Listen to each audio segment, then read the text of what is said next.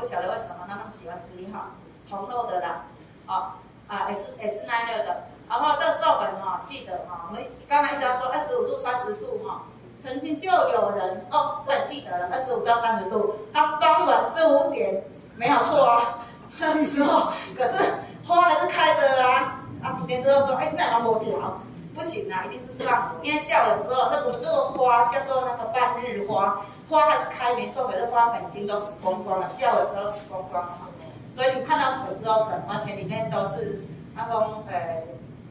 呃，没，就就是那个没有子弹的那一个的作用，所以它已经没有办法达到真正授粉的效果。那我们这个人工授粉其实呢有两个方法啦，一个用笔，一个用直接摘光花。啊，像你们这么一点点哦，光花摘下就可以了。稍微多一点的话，可以用毛笔的方法。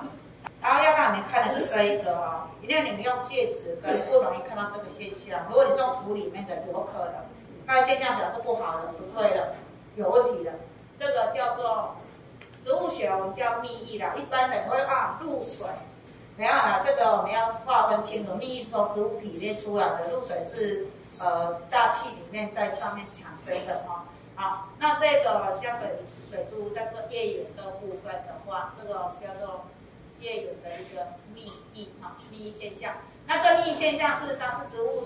它有在工作的一个表现，那很好啊，它的工作可是太多了。我们开花期市场水分不能太高，它要适当水分就好，适量适当水分就好。这时候表示说，哇，先感对水哈，头量最先水，所以它没有办法很快消散掉。所以在这边让。你是做那个，不管是蜜毛授粉还是说人工授粉，你的毛笔啊什么去 cut 掉。它的接在授粉质上，那个呃效果就很差，因为我们授粉的花粉跟那个母花那那个叫柱头的地方，它本身是靠一些油脂类，有水不溶嘛，所以它只会碰到这些比较属于水的东西，它会影响它授粉。所以为什么高湿环境之下，为什么授粉其实经常那个瓜会长歪的，那个这就是授粉不良。那为什么这样？就是因为是这种现象。好，这种比较高湿是水汽造成它这个花粉没办法很适合的发芽。好，所以你奶这个话就很凶，你爱心定这点动作，你不能再继续灌大量的水，你持续少量水给它没有关系，但是大量水不能再给了。好，然后你授粉的时候一定要注意不要那个笔啊去碰到这一些蜜液哈。好，然后毛笔、水彩笔都可以啦，在公花直接把公花当成笔来使用，OK。好，就是这样哈，这是这个是我们叫雌哦，是两性花哈，它花瓣稍微拆开，然后把公花花瓣弄掉，因为花粉不是在最前面，不是在最前面，不是在最前面，它在整个花粉头，那是头状，在周围、周围、周围、周围，所以要拿周围去可见一定的根，不是最前面这个哦，这个前面那不是花粉啊。啊，如果是毛笔的方法，其实一开始哈，一开始毛笔还没有花粉的时候啊，先去公花摘几朵哈，就就就就就让上面很多花粉之后，再去做授粉，这样就可以一路做过去，就不用说每一朵母花都去拿公花下来去粘花，光粘那个毛笔不不必要。如果要那样，就直接用公花就好了。啊，然后呢，能不能做果？其实超这种天气哈。这这受分两天，你有发现讲，哎，已经有在痛多。你拿当天，这是我的，拿当天的，给它开的盖壁，是不是很明显？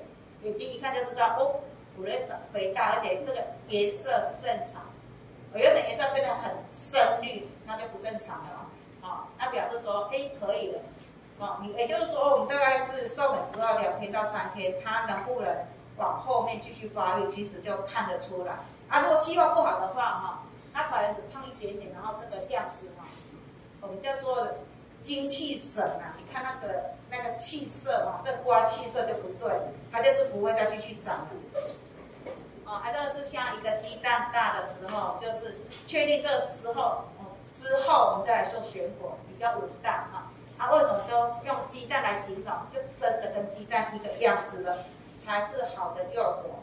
如果看起来有点滚滚的，那是不好的柚果。鸡蛋没有圆滚滚的哈，啊，那就是选果之后把它掉果，这是专业农民哦，那台南区的哦，那时候他在那边做的时候啊，怎样还掉起来可以抓，不是为了我去烧去吊，我是看哦，掉了，这里需要给你烧哈。然后就是把它吊好了。以日本人来说，他们要有九十度了哦，日本就喜欢九十度了，平方九十度，我们不用了，我们把它吊高高就好，因为我们的老鼠太严重了，所以尽量吊高一点没关系嘛。